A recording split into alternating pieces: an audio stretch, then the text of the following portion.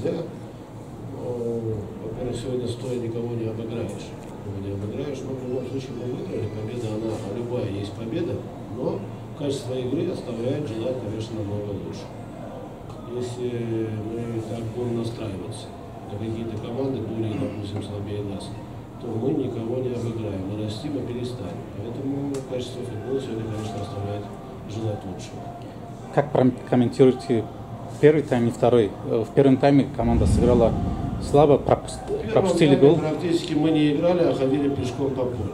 Пешком по полю. Вот. К сожалению, не удалось достучаться до ребят. Э, объяснял им, говорил, что сегодня пешком обыграть никого невозможно. Вот. Все играют, научились играть в футбол, и нужно выходить и играть э, на все сто процентов. Тогда и будет хорошая качественная игра, и, наверное, придет результат.